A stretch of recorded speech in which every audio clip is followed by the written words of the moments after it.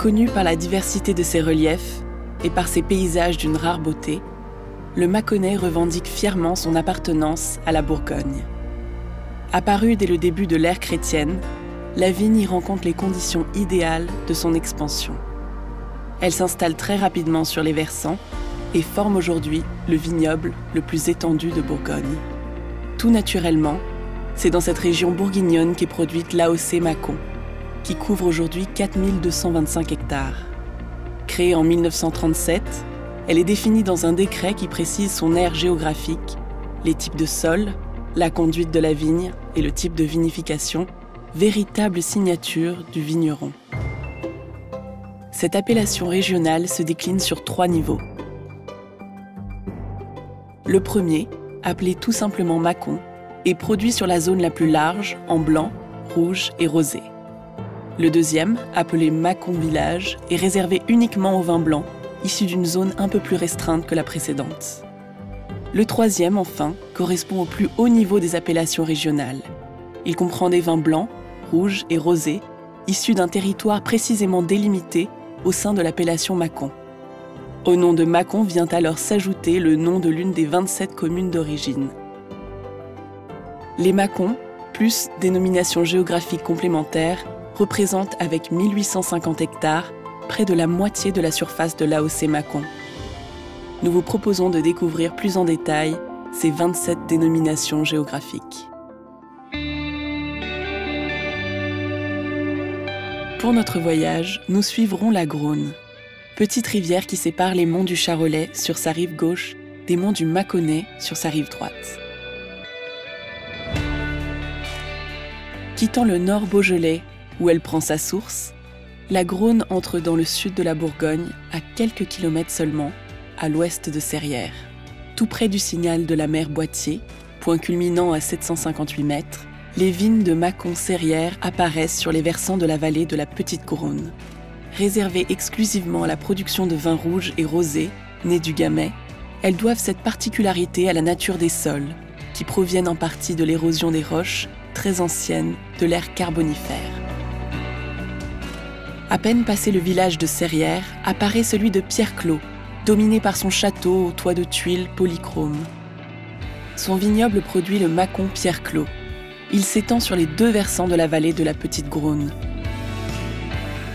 Dans son prolongement, sur la rive droite de la rivière, les vignes de Mâcon-Bussière se dévoilent. Plantées entre 250 et 350 mètres d'altitude, elles occupent deux coteaux, se faisant face dans cette zone de transition entre roches sédimentaires et socles cristallins. Comme leurs voisines de Mâcon-Pierre-Clos, elles produisent des vins blancs, rosés ou rouges. Quittons cette extrémité sud-ouest du Mâconnais au nom évocateur, le Triangle d'Or, pour revenir vers la Grône. Le vignoble de Mâcon-Milly-Lamartine occupe les versants les plus à l'ouest du Mâconnais.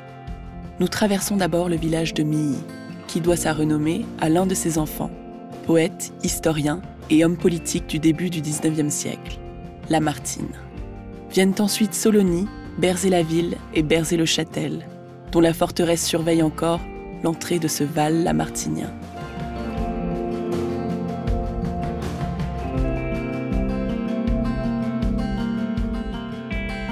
Après avoir longé pendant quelques instants l'est du Charolais, nous voici à Cluny. Comment parler du Mâconnais sans évoquer l'abbaye de Cluny, qui au Moyen Âge devient l'abbaye la plus puissante de toute la chrétienté. Son influence sur le vignoble est alors considérable. Grâce à de nombreuses donations, elle constitue le plus vaste domaine viticole de Bourgogne et étend ses propriétés jusqu'au nord de la côte de Nuit. En suivant le cours de la Grône, qui serpente au fond de la vallée, quelques anciens moulins sont encore visibles. Sur la rive droite, les vignes de Macombray apparaissent. Elles s'épanouissent sur des sols extrêmement variés. Les terrains granitiques accueillent le gamay, alors que marne et calcaire sont plutôt réservés au chardonnay. Bientôt, après avoir passé Cormatin, avec son château et son jardin remarquable, notre rivière est rejointe par la Guille, dont la vallée marque la transition avec la côte chalonnaise. Dominant la vallée de la Grône sur sa rive gauche, le vignoble de Mâcon-Saint-Jean-Gou le National se place en satellite à l'extrême nord-ouest du Mâconnais, sur des sols calcaires et marneux. À quelques pas de la rivière, sur sa rive gauche, nous découvrons l'église Saint-Martin de Chapèze, l'une des plus anciennes églises romanes de Bourgogne. Ici, les vignes couvrent l'espace de façon discontinue entre les collines de la région de Cluny et les premières hauteurs de la côte chalonnaise. Posée à une altitude de 250 mètres, elle domine les pâturages et la campagne dédiée à la polyculture de la vallée de la Garonne. Il est temps d'abandonner la Garonne pour se diriger vers l'est en coupant le long chaînon central dans sa partie nord. Après avoir admiré au passage la petite église romane de la chapelle sous Brancillon, nous découvrons le vignoble de Mâcon-Mancet qui arrive en limite de la plaine chalonnaise. Protégé à l'ouest par les bois de Mancet, culminant à 501 mètres, ce terroir se trouve à la croisée des climats, entre la douceur du Val de Saône et les contrastes climatiques plus continentaux du Mâconnais central. Les vignes occupent différentes expositions, entre 250 et 320 mètres d'altitude. En les suivant en direction du soleil levant, nous arrivons à Tournu, véritable joyau du nord mâconnais. Petit port fluvial sur la rive droite de la Saône, la ville est connue pour son abbatiale Saint-Philibert, l'une des plus prestigieuses de l'art roman. À quelques kilomètres au sud-ouest de Tournu, blotti au creux du vallon de la Natouze, le château d'Ausnay impose son impressionnante silhouette. Construit au XIIe siècle et aménagé durant les siècles suivants, il sera préservé pendant la Révolution. Laissant Ausnay et continuant vers le sud, nous arrivons dans l'un des villages les plus célèbres du Mâconnais, Chardonnay. Ce village aurait en effet donné son nom à ses pages éponymes, internationalement célébrées. Le Mâcon chardonnay provient de vignes réparties sur les deux versants de la vallée, qui offrent des expositions et des natures de sol différentes. En franchissant le versant est, nous voici sur le territoire du Mâcon Uchizi. Avantageusement exposées au soleil levant, les vignes sont majoritairement plantées en coteaux et ne produisent que du vin blanc. Toujours guidés par la rivière, rejoignons au sud le village de Montbellet. Baigné par la Saône à l'est et protégé à l'ouest par les premiers contreforts des monts du Mâconnais, le vignoble de Mâcon-Montbellet subit, comme celui du Mâcon-Uchizi, l'influence climatique contrastée du couloir de la Saône. Parcouru par l'air glacial de la Bise en hiver, il est parfois nappé de brouillard et connaît des températures estivales généralement élevées. Ici aussi, les vins sont exclusivement blancs. En remontant la petite rivière de la Bourbonne, nous découvrons les vignes de l'appellation Véré-Clessé et juste sur leur revers, celles de Macomburgie qui se remarquent par leur position géographique singulière. Principalement orientée au nord, elle constitue une terrasse idéale qui plonge sur les vignes de Mâcon-Luny et le Val de Saône. Chardonnay et Gamay y produisent des vins d'une belle fraîcheur. Avec son église romane dédiée à Saint Jean-Baptiste, la montagne belvédère de Burgie constitue une véritable porte d'entrée panoramique sur le nord mâconnais et la plaine de la Bresse. Voici que le village de Luny apparaît au pied de la montagne du château. Niché en fond de vallon, dans un cirque au flanc couvert de bois et de vignes, il a prêté son nom à l'une des dénominations les plus emblématiques du Mâconnais central, Mâcon-Luny. La première cave coopérative de Saône-et-Loire est fondée dès 1926 sur son aire de production, à Saint-Jean-Gou de Cissé. Aujourd'hui, la cave de Luny est le premier producteur du Mâconnais. Les amateurs d'art roman ne quitteront pas Luny et son vignoble sans la visite de l'église Saint-Cyr et Sainte-Juliette du petit village voisin de Bissy-la-Mâconnaise. Sortant par la porte du côté nord, nous croisons les vignes de la dénomination géographique Mâcon-Crusille qui s'étendent en continuité des coteaux de Mâcon-Luny. Dans cette vallée ouverte au sud et au nord, elle bénéficie des conditions climatologiques du Mâconnais central. De part et d'autre de la combe de Sagy, les vignes occupent le versant au soleil levant jusqu'au col de Brancillon au nord, en surplomb de la vallée bocagère du Grison. À l'est, face au soleil couchant, alternent coteaux et replats jusqu'en lisière des crêtes boisées. Limitrophe de Mâcon-Luny sur le coteau ouest, Mâcon-Péronne est consacré principalement à la production de vin blanc. À l'est, le vignoble sur Marne et calcaire occupe le pendant occidental du chaînon de l'appellation Viré-Clessé. En avançant vers le sud, la vallée s'élargit, laissant la vigne prendre ses aises. Sur les coteaux ouest, les sols calcaires rouges très caillouteux conviennent particulièrement au gamay, alors que les marnes et les calcaires blancs du côté est, marqués par une pente plus raide, sont réservés au chardonnay. Le long du Val de Mouge, c'est d'abord le vignoble de Mâcon-Azé qui s'étire de part et d'autre des versants. Comme Solutré, le site d'Azé est un haut lieu géologique et archéologique. Les galeries des grottes de la Balme ont livré les traces d'une occupation humaine parmi les plus anciennes de Bourgogne. À partir d'Igé, seul village producteur de Mâcon-Igé, le paysage s'élargit en une vaste cuvette allongée, aux limites bien définies. Cette situation offre un bon compromis climatique entre influence méridionale et fraîcheur des hauteurs du Mâconnais. L'histoire d'Igé reste liée à celle du hameau de Domange, dont l'église Saint-Pierre, élevée vers 953 par les moines de Cluny, est le centre paroissial d'origine de l'abbaye. Continuons notre route vers le sud. Nous atteignons très rapidement l'aire du Mâcon-Verzay, où le vignoble occupe principalement le long versant ouest. À l'est, les vignes s'échelonnent sur le court et abrupt coteau du bois de Verzay. Ici, la vocation viticole est très ancienne, et au XVIIe siècle, sa réputation était déjà bien établie. Grâce à l'installation d'une chaîne d'embouteillage collective au château de Vaux dès 1960, les vignerons de Verzay et leurs collègues de l'Union des caves coopératives ont contribué à la notoriété des appellations du Mâconnais.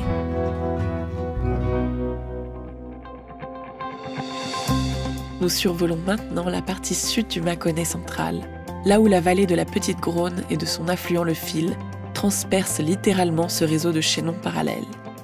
Avant de franchir ce passage ouvert d'ouest en est, saluons le petit village au nom évocateur de la Roche Vineuse. Faisant partie du Val-Lamartinien, il semble là pour surveiller cette importante voie de communication. Les vignes de Mâcon-la-Roche-Vineuse couvrent les flancs des collines, passant des orientations est-ouest à des expositions sud-sud-ouest. Suivons la petite Grône qui traverse le village de Prissé, avant de rejoindre la Saône au sud de Mâcon. Ce village partage son terroir entre les appellations Saint-Véran et la dénomination géographique Mâcon-Prissé. Le vignoble de ce dernier occupe les parties les plus planes et les plus proches du cours de la rivière. Il s'enracine sur les terrasses alluviales sédimentaires anciennes. C'est à Prissé, dans son pavillon du château de Monceau, surnommé la solitude de la Martine, que l'écrivain aimait se retrouver pour méditer et écrire. Peu avant sa rencontre avec la Saône, la petite Grône passe au pied des dernières hauteurs du long chaînon montagneux, courant de Tournu à Chintré. Le vignoble du Mâcon Charnay-les-Mâcons s'installe sur les pentes douces qui descendent jusqu'à la rivière. Il frappe ici aux portes de la ville de Mâcon, la proximité de la ville et de son port a permis à Charnay de jouer un rôle de premier plan dans la diffusion des vins du Mâconnais.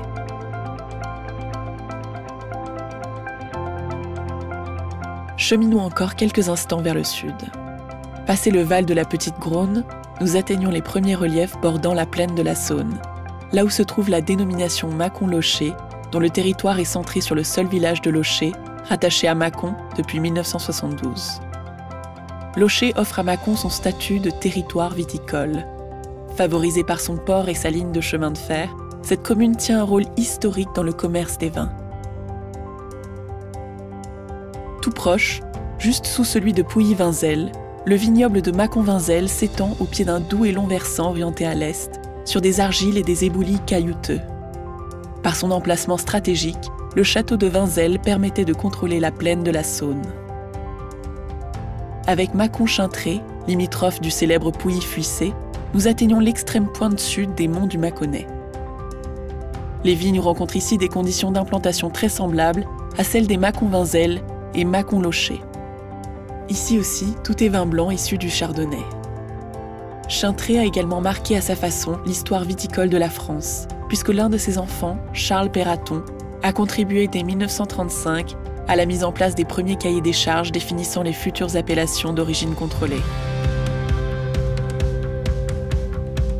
Avant d'achever notre périple, nous nous devons de survoler la région la plus connue et la plus spectaculaire du Mâconnais, celle des escarpements rocheux de Solutré et Vergisson. Ces impressionnants éperons calcaires culminent à 495 mètres et surplombent la vallée d'une falaise verticale à l'ouest, alors qu'ils descendent en pente régulière vers l'est. C'est à leurs pieds que s'étend le vignoble réputé de Pouilly-Fuissé. Sur le revers de la roche de Solutré, le long de la vallée de la Petite Grône, le vignoble de Mâcon d'Availlé s'établit sur des replats légèrement orientés au levant, à une altitude d'environ 200 mètres. Argile et sable alternent avec des veines de pierre calcaire fractionnées par l'érosion. Les vins de Mâcon d'Availlé se déclinent en trois couleurs. Rapprochons-nous de la célèbre roche pour pénétrer dans le village de Solutré-Pouilly. Là, deux îlots délimités forment la dénomination géographique Mâcon-Solutré-Pouilly. Le premier est sous la roche de Solutré et le second sur la croupe du mont de Pouilly. Ils bordent tous les deux le vignoble de l'appellation Pouilly-Fuissé.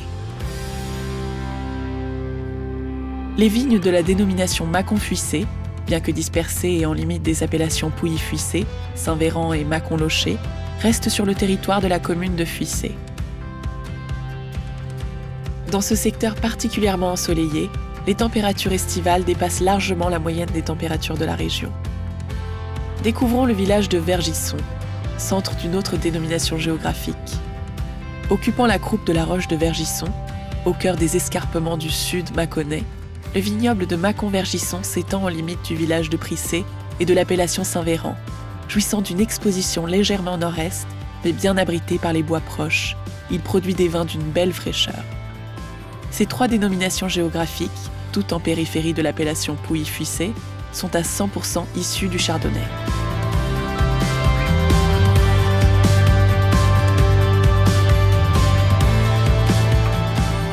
Nous voici au terme de ce voyage qui nous a permis d'admirer la très grande variété des paysages du Mâconnais. Les terroirs de ces 27 villages traversés ou survolés permettent aux chardonnays et aux gamay de donner le meilleur d'eux-mêmes. Les vins qu'ils produisent sont d'une extraordinaire diversité.